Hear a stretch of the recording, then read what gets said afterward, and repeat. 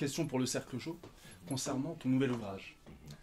Est-il destiné aux adultes uniquement ou bien peut-il aussi être étudié par les plus jeunes, adolescents et préadolescents? Déjà bonjour mon frère et bonjour à tout le monde. C'est vraiment un plaisir d'être en votre compagnie aujourd'hui. On fait les quatre coins du monde, mais la chose qui est la plus importante pour nous, c'est être au contact de nos communautés, où qu'elles soient installées. J'ai toujours fait en sorte que mes ouvrages soient le miroir de la manière dont je m'exprime, c'est-à-dire de la manière la plus accessible, de la plus intelligible possible. Néanmoins, c'est le premier livre 100% théorique que je fais, où je ne parle pas de mon parcours, et donc par conséquent, il y a quand même une construction théorique des plus, euh, des, plus importantes à mon sens. Mais là, encore une fois, j'ai fait en sorte que ce soit tout de même accessible au plus grand nombre. Ma fille est née, à, mon amoureuse, comme je l'appelle, à 16 ans. Et euh, à chaque fois que j'écris, j'essaye de lui donner le livre pour qu'elle puisse me donner son ressenti. Bon, là, elle a beaucoup de cours, donc elle n'a pas eu le temps de tout lire. Mais de ce qu'elle a lu, elle m'a dit que c'est quelque chose qui lui apprend énormément. Et je pense que c'est quelque chose qui est vraiment accessible au plus grand nombre. Et le nombre de, ventes qu'on a, je ne vais pas tout dévoiler parce qu'il ne faut pas que je mette en porte-à-faux l'éditeur. Je ne sais pas s'il va, il va tout déclarer. Mais euh, on en est au deuxième tirage en moins d'un mois. C'est euh, le meilleur démarrage qu'on a eu de tous nos livres. C'est aussi en accord avec, euh, je pense, le contexte de, un, notre influence politique, qui n'est plus la même que lorsqu'on a commencé. J'ai commencé à 23 ans. On avait une audience qui est groupusculaire. Aujourd'hui, on est suivi par des millions de gens. De deux, je pense qu'il y a aussi un éveil des consciences réelles au sein des diverses communautés, la communauté noire ici, mais aussi la communauté noire dans les Caraïbes, en Afrique, en Belgique et ailleurs. Et donc, il y a une émulation des plus positifs qui est présente. Et je pense que ce livre vient à point nommé. J'ai même eu le commentaire d'un ami, euh, mais d'une autre communauté, l'avocat Juan Branco, qui m'a dit qu'il avait beaucoup de mal à comprendre euh, les ouvrages de notre aîné, euh, vénérable aîné Charanta Diop, parce que c'est un langage scientifique, universitaire, qui est adressé, il ne faut pas qu'on se monte à la base aux universitaires, puisque c'était des sujets de thèse, un sujet de thèse, notamment Nation d'agriculture. Et il dit qu'avec ce livre, il a eu l'impression d'avoir un ouvrage de vulgarisation de thématiques de, très haute volée, mais euh, accessible au plus grand nombre. Et moi, c'est la dimension qui est la mienne. Je suis là pour sortir des choses qui sont, qui sont incarcérées dans le giron des, entre guillemets, des sachants, et mon but, c'est de les rendre accessibles au plus grand nombre. Voilà. Ça tombe bien parce qu'en fait, c'est une transition pour ma question. Bonjour, Maya, bonjour, journaliste indépendante aujourd'hui. Je veux dire ça, je suis venue pour moi, pour, euh, mais je travaille aussi chez Génération et avec Black Africa. Mhm. Ma question, grand frère, c'est, euh, je dirais même pas Kémy, je dirais grand frère, c'est qu'aujourd'hui, tu es une référence. Beaucoup de jeunes euh, pas pour LCP, non, je rigole. Alors, une référence et beaucoup de jeunes s'appuient sur tes dires que tu partages, sur ta vision, sur ton tes idéologies que tu partages à travers tes écrits, tes vidéos et tout ce que tu partages avec nous pour euh, étendre le mouvement du panafricanisme qui est un héritage que toi vraiment tu fais vivre très fort et comme tu as dit tu vulgarises. Du coup ceux qui ne comprenaient pas l'enjeu le comprennent plus facilement. Et on a parlé de tout ce que tu as pu vivre, c'est-à-dire euh, l'expulsion sur le sol euh, ivoirien où tu as été forcé de reprendre un vol dans la nuit. Tout ce que tu as vécu, toi qui prends le bac to Africa, quand nous, on te voit de l'extérieur, quelle est ton impression? Qu'est-ce que tu penses? Excusez-moi de ma... ma non, non, très importante ta question. Qu'est-ce que tu en penses? Parce que certains vont dire, on a le grand frère Kémy qui fait le travail. Il prône tout ça. Il nous rappelle nos valeurs. Il nous pousse à repartir en Afrique. Mais de l'autre côté, lui, il fait le travail. Et ces mêmes gens pour qui il fait le travail, cette terre, mère, bah, le repousse. Alors, je complexifierai ta question, qui est très importante, en rappelant que ce n'est pas la terre-mère qui me repousse. Je, dirais même que c'est la terre-mère qui a permis que j'ai l'influence politique que j'ai aujourd'hui. Les marionnettes africaines de l'Occident, et plus particulièrement de la France, me combattent parce qu'elles craignent la portée du message qui est le nôtre sur leur population. Aujourd'hui, quand je regarde les statistiques, même sur nos réseaux sociaux, les villes où on est le plus suivi, c'est les villes où les présidents nous combattent le plus, les pays dans lesquels les présidents nous combattent le plus. Je parle en Afrique, Sénégal, au-delà du Bénin, mon pays, Sénégal, Côte d'Ivoire, on a une audience qui est monstrueuse. Euh, et pourtant, les dirigeants de ces pays nous haïssent. Je pense qu'il est très important qu'on ne vende pas du rêve à la diaspora. J'aurais pu faire comme beaucoup de gens, euh, aller à Babi, à Abidjan, Babi est doux, comme dirait l'autre, m'enjailler, euh, passer du bon temps et ne rien risquer. C'était la voie la plus facile. la plus facile. J'ai même eu au tout début de mon retour en Afrique, quand j'étais au Sénégal, des offres d'emploi pour travailler euh, dans certaines structures euh, sur le terrain de la communication, etc., à Abidjan. J'ai balayé ça parce que ce n'était pas en adéquation avec mon idéal, même si j'adore cette ville. Je suis rentré au pays pour contribuer à la décolonisation, aux côtés des forces en présence sur place, contribuer au processus de décolonisation de nos pays. Parce que ce processus-là, malheureusement, n'est pas arrivé à terme. Il y a eu plusieurs phases. Il y a eu la phase des années 60, il y a eu la phase des années 80 avec notre aîné Thomas Sankara, et on, assiste à l'ultime phase qui est noyée dans ce processus du globalisme néolibéral, qui est l'ultime forme du colonialisme en tant que tel. Néolibéralisme sur le terrain économique et sociétal. Et je pense qu'il est important que la diaspora voit que rentrer en Afrique, c'est pas juste s'enjailler.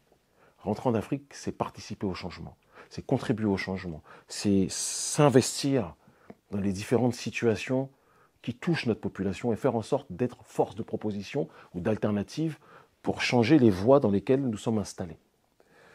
Et donc la diaspora voit qu'il y a parfois de la persécution, mais que de l'autre fois, il y a aussi des... Je veux dire, euh, je pense être l'un des seuls leaders d'opinion qui réunit des foules. il y a des gens comme Sonko qui sont des monuments au Sénégal, vraiment insérés dans la réalité sénégalaise. Mais je pense sur le terrain transnational, je ne suis pas sûr qu'il y ait beaucoup de figures qui réunissent autant de gens que moi dans la plupart des pays d'Afrique francophone. C'est très important. Et je n'en tire aucun mérite, c'est le fruit d'un travail collectif dont je suis l'expression visible, mais j'ai toute une équipe euh, très large d'hommes et de femmes africains et afrodescendants autour de moi.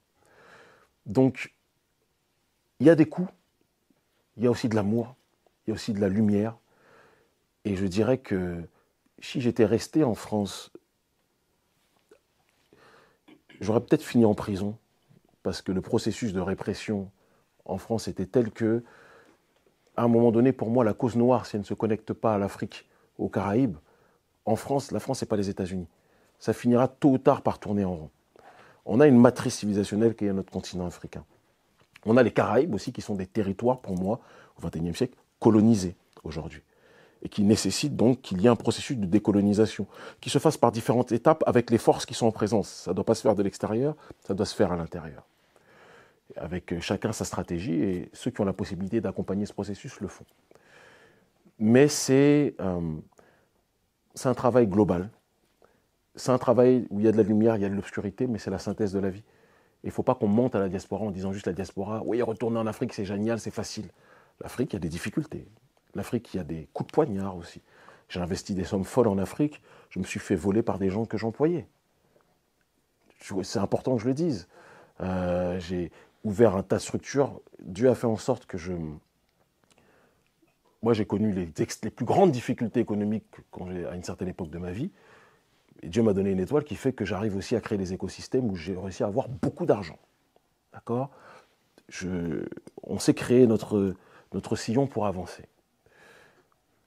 Mais je sais que j'ai investi, j'ai fait de l'entrepreneuriat social dans mon pays.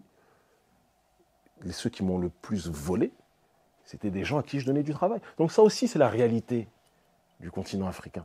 Ce n'est pas une généralité, mais c'est une partie de la réalité. Après, j'ai changé mon système économique, mon modèle économique.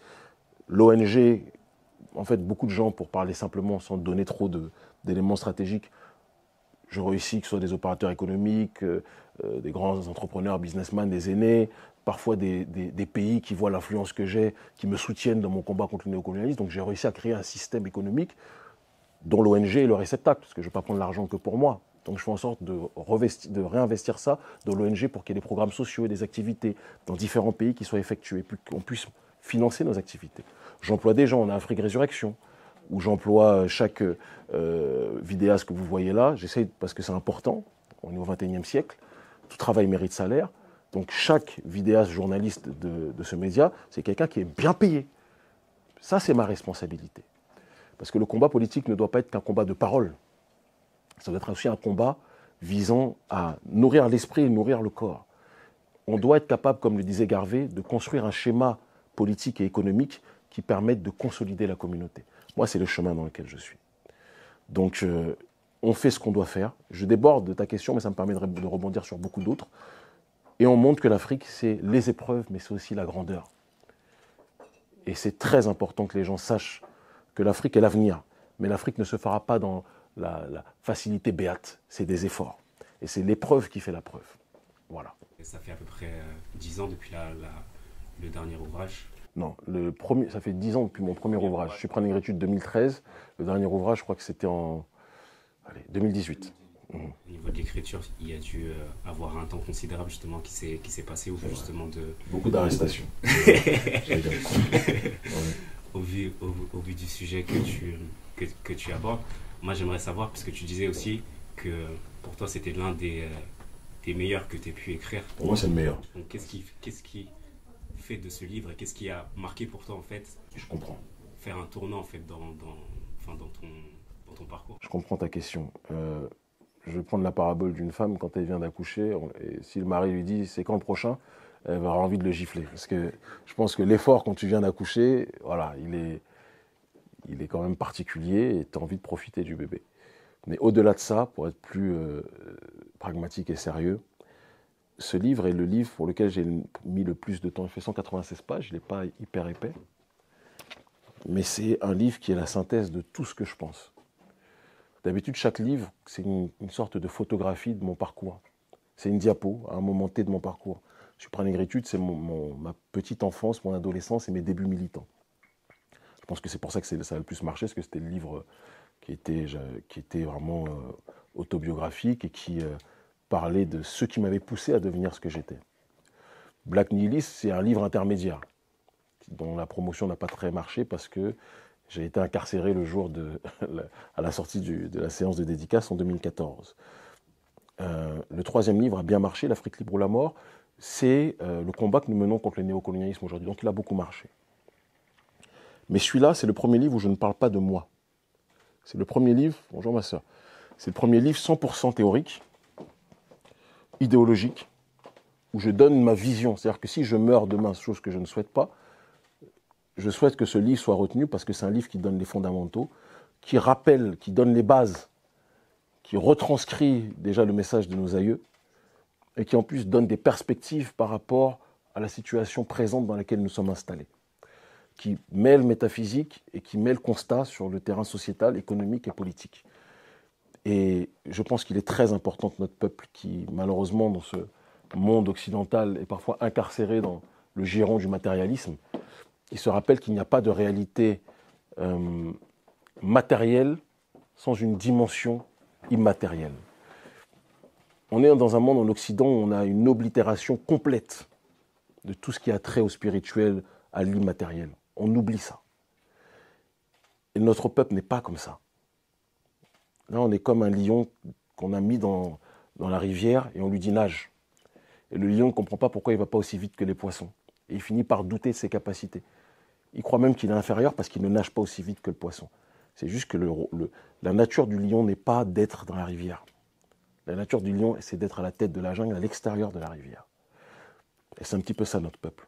On est dans un monde moderne avec des règles qui ne sont pas les nôtres et on se débat. On a toujours l'impression d'être en retard. Mais c'est parce que le paradigme qui nous est présenté n'est pas celui qui est en adéquation avec notre réalité. Je le pense profondément.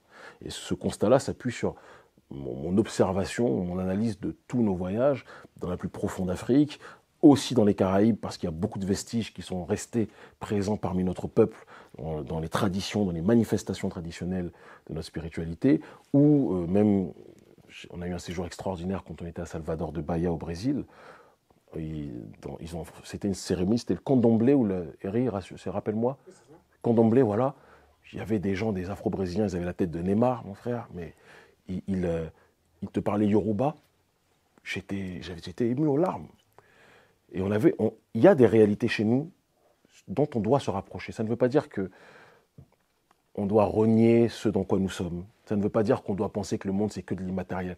Évitons aussi ces caricatures. Mais pour renforcer notre positionnement dans le monde matériel, dans cette réalité du monde moderne, il faut qu'on s'enracine à la matrice qui est la nôtre. Et la matrice qui est la nôtre, c'est la tradition. C'est ce que je dis. Et je n'ai pas cette, euh, euh, ce, positionnement euh, parfois caricatural qu'il y a dans certains courants militants, qui est de dire oui, rentre dans la tradition et puis tu insultes la religion de ceux qui sont dans telle telle religion. Je n'ai pas le temps pour ces divisions, parce que dans notre peuple, il y a des gens de toutes confessions. Il faut les amener vers la même direction, dans l'amour et dans la solidarité. Tu comprends ce que je veux dire? Mais je pense qu'on est fort quand on revient à nous-mêmes, où que l'on soit. Et c'est ce dont je parle profondément dans l'ouvrage. En Russie aussi, les Noirs souffrent. Est-ce qu'il y, a un endroit dans le monde où, les Noirs souffrent pas, c'est Même chez eux. Mais, mais, du coup, en fait, j'aimerais bien savoir euh, ce que tu en penses. Et est-ce que finalement, euh, l'arrivée des Russes n'a pas créé un nouveau système de domination une fois que les, les, Français ou les Anglais ou les Américains, enfin bref, tout cela seront partis?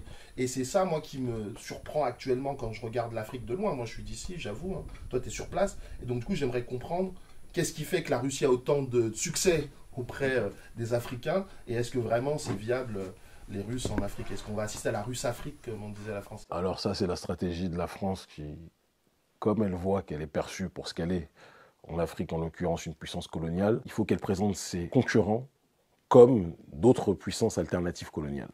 Et donc nous, on serait que des serpillères qui accepteraient les colonisations de tout le monde. Je pense qu'à un moment donné, il faut nous respecter. Et il faut qu'on se respecte. Déjà, la Russie n'est pas de retour. La Russie est là depuis la période des indépendances. Ceux qui ont financé l'ANC de Mandela, c'est l'Union soviétique. On oublie de le dire.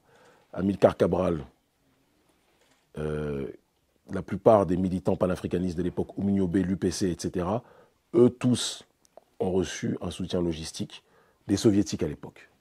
Ça, c'est l'histoire. Et c'est ce qui explique pourquoi il y a aujourd'hui en Afrique francophone et ailleurs, parce que tu vois en Afrique du Sud aujourd'hui, la, Russie est l'un des premiers partenaires du pays, la Russie est perçue comme une nation. Après, moi, je vais te donner mon point de vue, mais là, je te parle de la perception des gens, comme une nation qui était là au moment de notre première phase de décolonisation. Et une, nation qui a un contrepoids à l'arrogance de l'Occident. Et c'est objectivement, sur le terrain géopolitique, ce que la Russie est. La guerre Russie-Ukraine, ce n'est pas la, la guerre de la Russie contre l'Ukraine, c'est la guerre de l'Occident contre ceux qui lui résistent. Il faut qu'on puisse le dire avec la plus grande simplicité. Une fois qu'on a dit ça, est-ce que la Russie est le Messie des Africains? Jamais. Et je me, prends toujours la tête avec les gens qui, dans les manifestations, prennent des drapeaux russes ou nous disent des, des bêtises comme Poutine vient nous sauver. Ça, c'est de l'auto-humiliation. Et c'est de la déresponsabilisation. Quand je vais en Russie pour parler justement des relations africaines, le discours que je tiendrai sera le même que je te tiens et que j'ai tenu à, l'Université des relations internationales de référence à Moscou l'année dernière, où j'ai dit que nous voulons des partenariats d'égal à égal. Mais si quelqu'un se comporte avec nous comme l'Occident se comporte avec nous, nous les combattrons. Ma démarche est très claire. Quand je vais en Turquie, quand je vais voir les gens du Hezbollah comme j'étais en, octobre dernier, euh, si je vais en Chine, j'évite la Chine même s'ils nous font beaucoup d'appels du phare, parce que d'appels de phare, parce que je, je vois de manière très pragmatique ce qu'ils font sur le continent. Il y a du bon sur certains aspects, il y a du très mauvais sur d'autres. Mais le vrai problème, moi je vais te dire la vérité, c'est pas les autres. Et à un moment donné, il faut qu'on ait ce courage-là. Oui, ce qu'ils veulent, c'est pas les autres. La Chine a été colonisée en même temps que nous. Et quand la Chine a commencé son partenariat avec les puissances qui venaient de se décoloniser, elle était dans une dimension d'agir d'égal à égal. Mais quand quelqu'un se lève et fait un partenariat avec l'autre, mais que l'autre n'est pas, c'est comme dans un couple. Vous êtes un couple, vous venez de finir vos études, vous êtes libre maintenant d'aller sur le marché du travail, d'entreprendre. Toi, tu es déterminé, déterminé, déterminé pour avancer. Et ton partenaire, il n'a pas la même ambition que toi. Il n'a pas la même rigueur que toi. Il n'a pas les mêmes objectifs que toi tu es debout, il est à genoux. À un moment donné, tu vas agir avec ton partenaire de la manière dont il veut, dont elle veut être traitée. Si elle veut être en retard, soit à un moment donné, tu vas dire ah ouais, mais tu me ralentis. Et le comportement de la Chine, je vous le dis, les yeux dans les yeux, c'est la responsabilité numéro un de nos dirigeants, qui ne se sont pas comportés comme des hommes face à ces nations. Et c'est la même chose par rapport à la Russie. Quand je vais en Russie, quand je sais ce qui m'est proposé et ce que nous refusons sur certains aspects, je ne parle pas du soutien logistique ou autre qu'on peut avoir à différents endroits, etc. Mais je sais qu'il y a des gens, des politiciens qui vont là-bas, quand ils sont là-bas, ils ont la langue pendue. pour eux, rien que le fait d'être en Russie, ils sont contents de parler avec les autorités. Nous, on y va, les Russes, ce sont des gens comme les autres. Tu comprends ce que je veux dire? Donc, mon problème, ce n'est pas la Russie. Oui, ce sont des gens, c'est un pays où il y a beaucoup de négrophobie. Mais il n'y a pas un pays dans le monde où il n'y a pas de négrophobie. Mais quand tu te comportes de manière ferme avec ces gens, ils te respectent de manière ferme aussi. Et ça, je te parle du témoignage issu de notre vécu. Donc il y a une montée du sentiment pro-russe en Afrique qui est réelle, mais qui s'appuie sur deux facteurs. La Russie est vue comme le challenger numéro un avec la Chine de l'Occident, et il y a un profond sentiment hostile à l'arrogance occidentale en Afrique, qu'on a contribué, je ne vais pas te mentir, à mettre sur pied depuis des années. D'accord? Et euh, on voit chez les Russes des gens qui veulent un changement de l'ordre mondial et un monde multipolaire. Là où pour l'instant nous sommes géopolitiquement dans un monde unipolaire, c'est-à-dire que c'est l'Occident qui donne l'heure pour tout le monde, et on commence à être nombreux à être fatigués de cette méthode-là. Mais si on doit synthétiser la chose, les Russes ne sont pas et ne seront jamais nos messies, mais ils peuvent être des partenaires temporaires, jusqu'au moment où l'homme noir et la femme noire comprendront qu'ils sont suffisamment nombreux pour faire de la géopolitique d'abord entre eux, avant de le faire à l'extérieur. Mais en attendant que tout le monde soit au même rythme de compréhension, on a des adversaires politiques, il y a des systèmes néocoloniaux, et il faut qu'on puisse, c'est ça la géostratégie, être capable de, de faire des connexions qui nous permettent d'être plus forts face à l'adversaire commun. C'est la démarche dans laquelle nous sommes. Peux-tu nous rappeler, pour celles et ceux qui ne l'auraient pas entendu sur tes diverses interviews Mhm. ou qui n'auraient pas encore terminé le livre, ce qu'est la panafricanité? La panafricanité, c'est le retour à nous-mêmes qui nous permet de revenir à un état de fait, l'unité des différents peuples que nous étions, que ce soit sur le continent africain, dans le rameau même d'une autre partie de notre peuple, dans la vallée de l'Indus, dans les différents endroits dont je parle dans mon livre, parce qu'on parfois on circonscrit la réalité de notre peuple à un seul continent, alors que notre peuple est présent aux quatre coins du monde. Et c'est pour ça que la tournée qu'on fait cette année va nous emmener sur tous les continents, y compris même en Mélanésie, où on a tendance à oublier que même là-bas, notre peuple est présent. Et Runoko Rachidi, le grand historien, en parlait avec profondeur. Donc c'est la désali- désaliénation complète, le retour à nous-mêmes complet, en tout cas un processus qui nous permet de revenir à l'état de fait. Quand on parle de panafricanité, ce n'est pas une quête, contrairement à panafricanisme, c'est un état de fait. Quand on parle de l'africanité, on parle de l'état de fait d'être africain. La panafricanité, c'est l'état de fait des diverses formes d'africanité. Revenir à nous-mêmes, à ce que nous sommes réellement, culturellement, idéologiquement, spirituellement, politiquement, pour avancer. Non pas en reniant les différents processus aliénants qui nous ont poussés parfois à nous éloigner de nous-mêmes, prendre conscience de ces processus aliénants, mais faire en sorte de les transcender pour que l'on puisse re- ressortir de nous-mêmes ce qu'il y a de plus profondément africain en nous. Et c'est ce que nous, nous essayons de faire. Et c'est ce que nous essayons de transmettre au reste de nos communautés. Et je pense que c'est exprimé de la meilleure façon dans mon ouvrage où j'essaye de décortiquer déjà le monde dans lequel nous sommes. J'essaye de montrer qu'on est tous complètement aliénés en réalité. Je prends l'exemple du développement. On voyage dans différents pays. On dit, ah ouais, c'est un pays développé, ça. Nous tous, je sais qu'on a tous déjà dit ça. Ah, je kiffe ce pays. Ah ouais, il est développé. Développé selon quels critères? Et c'est là on se rend compte que même là, la matrice a commencé. Ah ouais, ils ont des buildings, ils sont développés. Ah ouais, ils ont des restaurants, des hôtels 5 étoiles, ils sont développés. Ah ouais, ils ont, il y a des McDonald's, ils sont développés. Etc., etc., etc. Il y a des métros, ils sont développés. Mais qui a fixé ces indices du développement? Ce sont les tenants du processus de modernité. Mais il y a d'autres schémas de société que ces schémas qu'on veut nous imposer. Et je pense, j'ai une architecte ici qui ne me démentira pas sur ce point. Moi, ce que j'aime dans tous les pays que l'on visite aux quatre coins du monde, c'est voir les différentes architectures qui sont en adéquation avec la culture des peuples. C'est très important de voir ça. Or, malheureusement, dans la plupart des mégalopoles aujourd'hui du monde, on a tendance à voir un micro-Occident qui est plongé partout. Parce qu'on a fini par se dire que le temps présent, ce qu'il y a de beau dans le temps présent, c'est, ou ce qui est la norme, c'est ce que l'Occident nous présente comme étant beau. Mais a d'autres systèmes architecturaux, d'autres systèmes civilisationnels, d'autres systèmes de santé alternatifs. Il y a beaucoup de choses sur lesquelles on peut travailler. Et la panafricanité, c'est revenir justement dans ce processus de défricher ces réalités, non pas pour être incarcéré dans un passéisme, mais pour faire en sorte que la tradition nous permette d'être beaucoup plus solides dans le monde présent. Voilà. Ces derniers jours et ces dernières semaines, on est en train de nous plonger dans une normalité que je suis en train d'essayer de, de voir et dont on nous parle beaucoup au niveau des intelligences artificielles. Je ne sais pas si justement tu tu t'étais penché justement sur le Mhm. sujet. L'idéologie en fait qu'on essaie de nous vers laquelle on essaie de nous pousser. Certes, on peut euh, voir qu'il y a beaucoup d'avantages justement à utiliser ce genre de ce genre de technologie, mais moi j'y vois beaucoup aussi euh, beaucoup de d'art qui pourrait ne pas être utile en fait à, à l'humain en tant que tel C'est sûr. on voit une euh, idéologie qui tend justement à l'humain, avec le transhumanisme, ce genre de choses, à pouvoir s'écarter de qui il est vraiment. Et pour rebondir justement sur, ce que tu disais, les enjeux pour nous de pouvoir justement se concentrer sur nous-mêmes, de revenir à nous-mêmes, comment en fait tu vois l'évolution de, de, toutes ces choses, en fait, ce genre de technologies qui pourraient entre guillemets nous mettre des bâtons dans les roues Déjà, je pense qu'il est important quand on parle de ces technologies de parler de la notion de progrès. Et euh, de comprendre que le progrès pour les uns n'est pas forcément le progrès pour les autres.